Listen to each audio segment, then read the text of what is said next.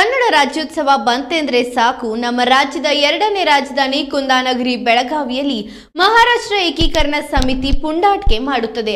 ಆದರೆ ಎಂಇಎಸ್ ಪುಂಡಾಟಕ್ಕೆ ಕನ್ನಡಿಗರು ಸೊಪ್ಪು ಹಾಕೋದಿಲ್ಲ. ಇಂತಹ ಎಂಇಎಸ್ ತವರೂರಾದ ಮಹಾರಾಷ್ಟ್ರದಲ್ಲಿಯೇ ಕನ್ನಡದ ಧ್ವಜ ಹಾರಾಡುವುದಷ್ಟೇ ಅಲ್ಲದೆ ಕನ್ನಡಾಂಬೆಗೆ ಜಯ ಘೋಷ ಹಾಕಲಾಗುತ್ತಿದೆ.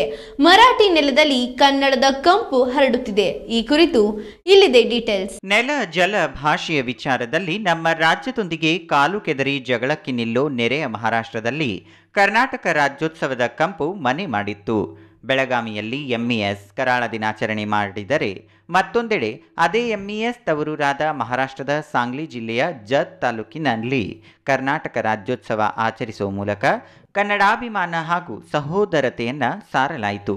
ಮಹಾರಾಷ್ಟ್ರದ ಸಾಂಗ್ಲಿ ಜಿಲ್ಲೆ ಜತ್ ತಾಲೂಕಿನ ಬಾಲ್ಗಾಂವ್ ಗ್ರಾಮದ ಗುರುದೇವಾಶ್ರಮದಲ್ಲಿ ಕರ್ನಾಟಕ ರಾಜ್ಯೋತ್ಸವ ಆಚರಣೆ ಮಾಡಲಾಯಿತು.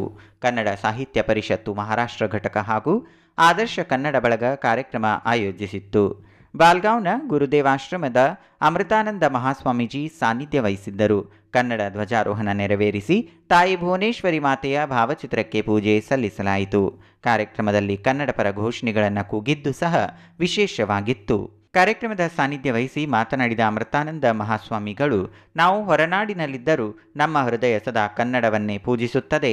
ಗಡಿಭಾಗದ ಕನ್ನಡಿಗರ ಏಳಿಗೆಗಾಗಿ ಎರಡು ಸರ್ಕಾರಗಳು ಮುಂದೆ ಬರಬೇಕು. ಮಹಾರಾಷ್ಟ್ರದ ನೆಲದಲ್ಲಿ ಕನ್ನಡ ಉಳಿಸಿ ಬೆಳೆಸುವ ಕಾರ್ಯ ನಿರಂತರವಾಗಿ ಮಾಡುತ್ತಿರುವ ಕನ್ನಡ ಸಾಹಿತ್ಯ ಪರಿಷತ್ತು ಮಹಾರಾಷ್ಟ್ರ ಘಟಕ ಹಾಗೂ ಆದರ್ಶ ಕನ್ನಡ ಬಳಗದ ಕಾರ್ಯ ನಿಜಕ್ಕೂ ಶ್ಲಾಘನೀಯವಾಗಿದೆ ಎಂದು ಹೇಳಿದರು. ನ್ಯಾಯ ಕೊಡ್ತಾ ಇಲ್ಲ. ಇವತ್ತು ನೋಡ್ರಿ, ಪ್ರತಿ ಎಷ್ಟೋ ಕರ್ನಾಟಕ ಸ್ಥಾಪನೆ ಆದಾಗಿನಿಂದ ಅಥವಾ ರಾಜ್ಯ ಉದಯ ಆದನಿಂದಲೂ ಈ ಭಾಗದಲ್ಲಿ ಸೊಲ್ಲಾಪುರ ಮತ್ತು ಸಾಂಗ್ಲಿ ಜಿಲ್ಲೆಯಲ್ಲಿ ಒಂದು ರಾಜ್ಯ ರಾಜ್ಯೋತ್ಸವ ಪುರಸ್ಕಾರ ನಮಗೆ ದೊರೆತಿಲ್ಲ.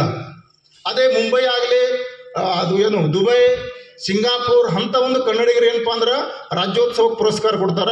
ಆದ್ರೆ ಸಾಂಗ್ಲಿಯಲ್ಲಿ ಇರ್ತಕ್ಕಂಥವ್ರಿಗೆ ಮತ್ತು ಸಾಂಗ್ಲಿ ಜಿಲ್ಲೆ ಮತ್ತು ಸೋಲಾಪುರ ಜಿಲ್ಲೆಯವರಿಗೆ ಇಲ್ಲಿವರೆಗೆ ಏನಪ್ಪಾ ಅಂದ್ರೆ ಒಂದೂ ಏನಪ್ಪಾ ಅಂದ್ರೆ ರಾಜ್ಯೋತ್ಸವ ಪುರಸ್ಕಾರ ಇಲ್ಲ. ಆ ಸಲುವಾಗಿ ನಾವೇನು ವಿಚಾರ ಮಾಡಿದೆವಪ್ಪ ಅಂದ್ರೆ ಕನ್ನಡ ಸಾಹಿತ್ಯ ಪರಿಷತ್ತು ಮತ್ತು ನಾವು ಆದರ್ಶ ಕನ್ನಡ ಬಳಗದವರು. ಕರ್ನಾಟಕ ಸರ್ಕಾರಕ್ಕೆ ಗೊತ್ತಾಗಲಿ ಈ ಒಂದು ಏನಪ್ಪಾ ಅಂದ್ರೆ ಉದ್ದೇಶ ಇಟ್ಟುಕೊಂಡು ಈ ಸಲ ನಾವೇನು ಮಾಡಿದೆವಪ್ಪ ಅಂದ್ರೆ ರಾಜ್ಯೋತ್ಸವ ಪುರಸ್ಕಾರವನ್ನ ಪ್ರಾರಂಭ ಮಾಡಿದ್ದೀವಿ.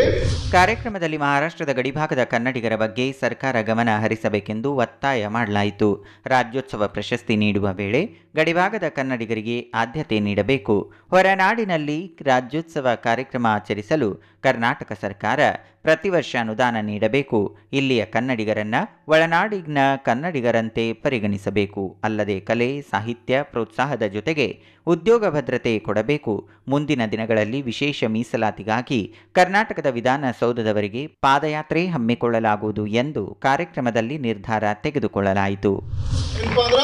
ಅವನಿಂದ ಏನು ಪ್ರೇರಣೆ ಪಡಿಬೇಕಂದ್ರ? ನಮ್ಮ ಮಕ್ಕಳಿಗಾಗಲಿ, ಈ ಗಡಿ ಭಾಗದ ಎಲ್ಲ ಏನಪ್ಪಾ ಅಂದ್ರ ನಮ್ಮ ಮಕ್ಕಳಿಗೆ ಅವ ಏನಪ್ಪಾ ಅಂದ್ರೆ ಇವತ್ತು ಪ್ರೇರಣೆಯಾಗಿ ನಿಲ್ತಾನ. ಅವನ ಪ್ರೇರಣೆಯಿಂದ ಏನಪ್ಪಾ ಅಂದ್ರ ಇವತ್ತು ಅದೆಷ್ಟು ನಮ್ಮ ಮಕ್ಕಳು ಸಂಗೀತ, ಇನ್ನಿತರ ಕಲೆಗಳಲ್ಲಿ, ಕ್ರೀಡೆಗಳಲ್ಲಿ, ಸಾಹಿತ್ಯ ಕ್ಷೇತ್ರದಲ್ಲಿ ಬೆಳಿಬೇಕು ಈ ಒಂದು ಭಾವನೆ ಏನಪ್ಪ ಅಂದ್ರೆ ನಮ್ಮ ಬಳಗ ಮತ್ತು ಕನ್ನಡ ಸಾಹಿತ್ಯ ಪರಿಷತ್ತಿಂದು ಅದಂತಕ್ಕಂಥ ಮಾತನ್ನು ನಾನು ಹೇಳ್ತಾ ಇದ್ದೇನೆ. ಅದೇ ರೀತಿಯಾಗಿ ನಮ್ಮ ಈ ಗಡಿ ಭಾಗದ ಸಮಸ್ಯೆಗಳು ಬಹಳಷ್ಟಿವೆ.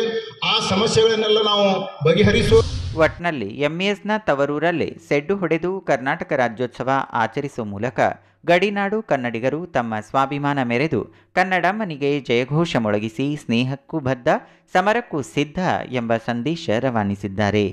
ಜೈ Kannadamma. Vijay Kumar Sarwad, in news Vijayapura.